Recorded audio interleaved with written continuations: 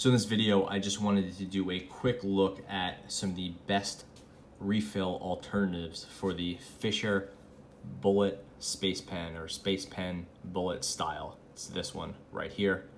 It uh, seems to be very popular, especially in the everyday carry community.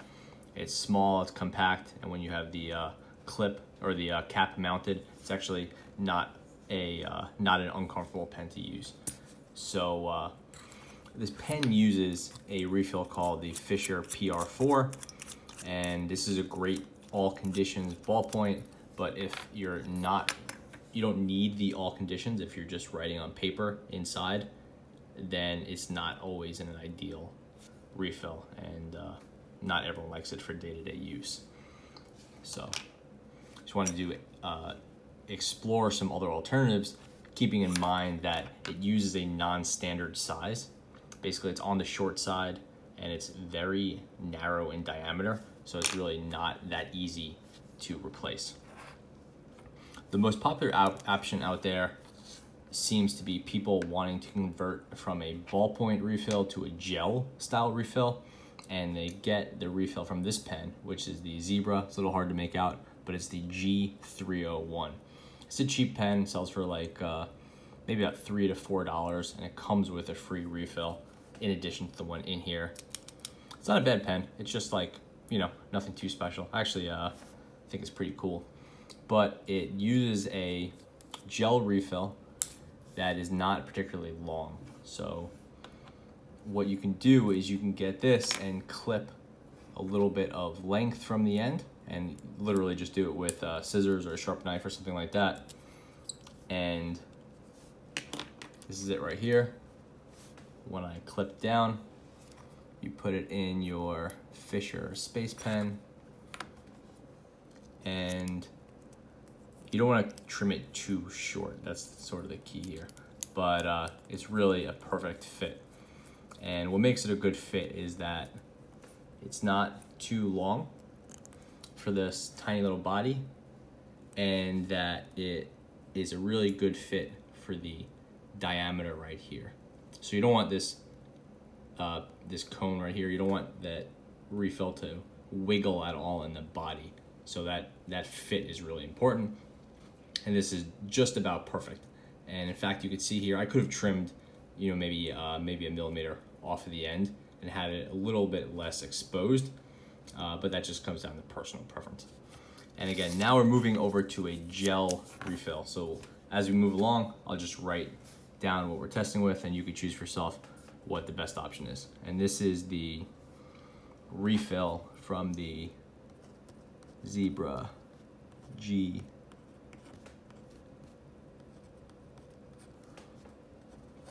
It's a nice refill, writes well, uh, and again, you are moving to gel, which a lot of people prefer.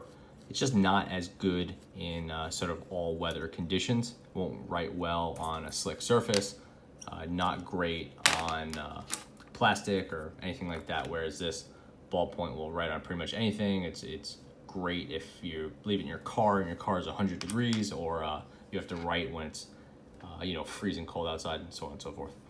Another refill option that works really well is the Chronix Hybrid. These are a little bit hard to find. I know they're not that popular. Uh, and this is actually the refill I chose or recommended people use with their Fisher AG7 or CH4. That's the, uh, the space pen, which isn't nearly as popular as the bullet style pen, but they are really great.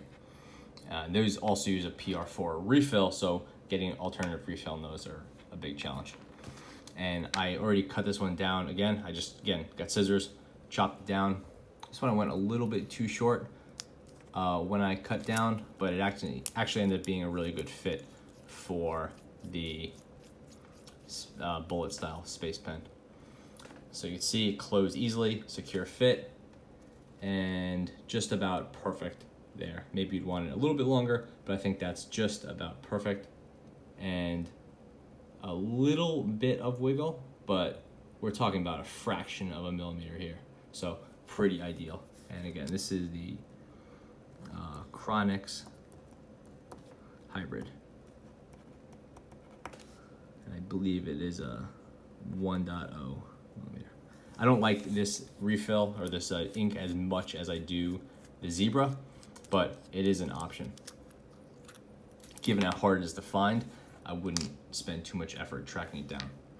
Two other options in case you're looking or you have some refills lying around, you could use this S-7S refill from, I believe it's from Platinum, uh, and this one works pretty well. Pretty good fit, not perfect, uh, but it'll get the job done. And, uh, sorry, this is from Uniball, S-7S from Uniball, or you could use this right here, which is the, this is from Platinum. This is the BSP-60S. And this refill is a pretty okay fit. Uh, this one is, you know, it's available on Japanese retailers that sell refills, but it's not like uh, something you're gonna find uh, too universally. Whereas the Zebra, you could buy in pretty much any big box store, so it's a really valuable option. Uh, here you can see good length and a little bit of wiggle. Might be hard to pick up on the camera. There's a little bit, not enough to be a problem, but definitely more than the Zebra. And this is the Platinum BSP.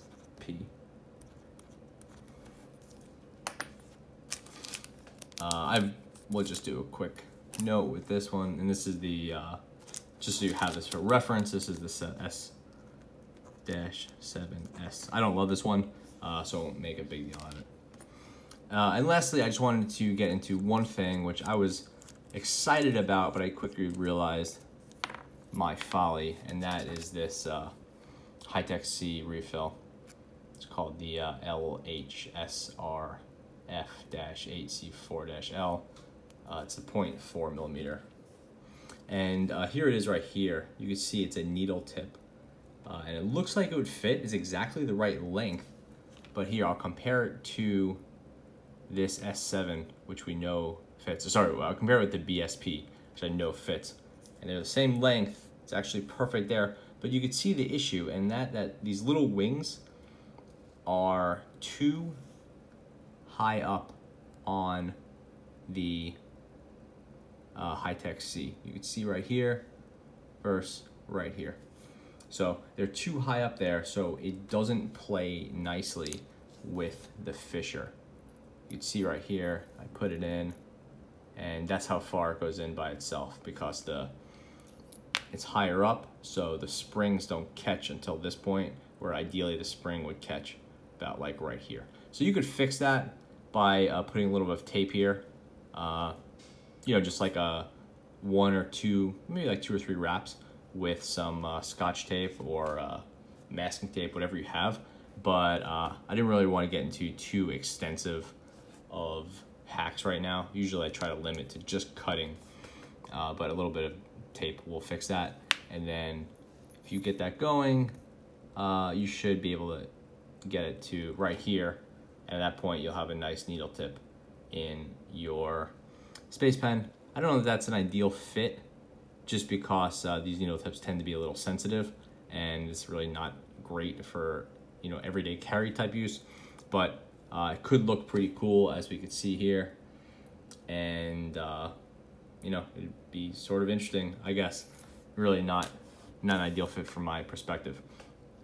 But uh, yeah I would definitely recommend grabbing and one of these guys. This is again the G301 throw that refill in here.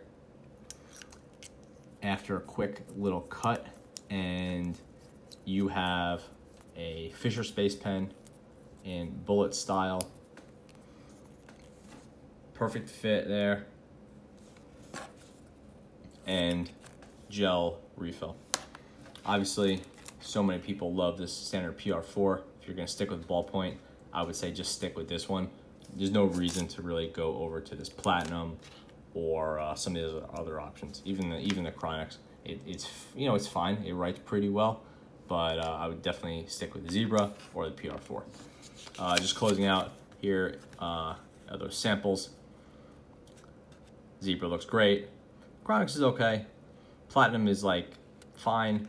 S7 is fine. If you want a ballpoint, stick with the PR4. Thanks for watching.